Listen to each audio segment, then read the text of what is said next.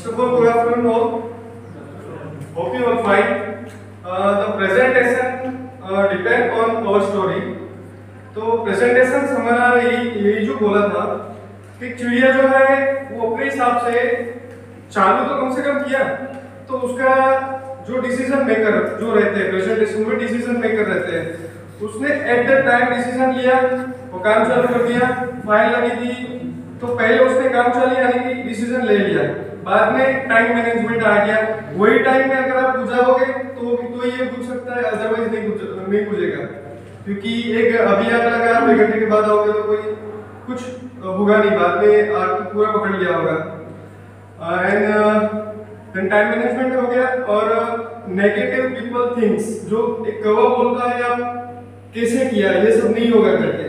तब आपकी लाइफ में जो पीपल्स जो नेगेटिव जो रहता है ना, पूरा नेगेटिविटी जो उसके माइंड में रहती है आपको ये नहीं करने देते, आपको वो नहीं करने देते तो आप उसको इग्नोर करो।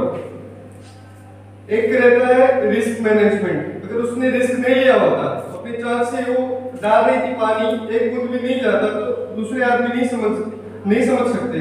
तो कहने का मतलब है, उसने रिस्क लिया, कोई वो कर पाई। एंड देन लास्ट में कंसिडरेशन पावर जो समझाने का जो आपके पास पावर रहता है, चाहे वो प्रैक्टिकली हो या चाहे वो वर्बली जो हम लोग बोलते हैं, वो हो तो वो आपके पास होना चाहिए। और लास्ट में दो लाइन्स में ऐड करना चाहूँगा। If you want to go fast then go alone आपको फास्ट जाना है तो आप अकेले जा सकते हो। और if you want to go far fast और फार दोनों वर्ड में अंतर है। If you want to go fast then go alone if you want to go far then go together that is a team work